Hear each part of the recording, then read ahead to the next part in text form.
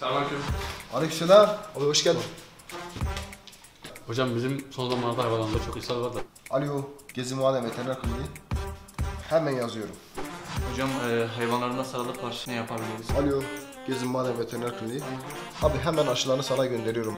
İlaçlama mı? Abi bizde Bayer'in çok kaliteli ilaçları var. Hemen sana onları gönderiyorum, ilaçlamanı yaparsın. Ya benim köpek uyuz olmuş da bana bir ilaç alalım ya. Abi buyur, ilaçlar hazır. Abi teşekkür ederim.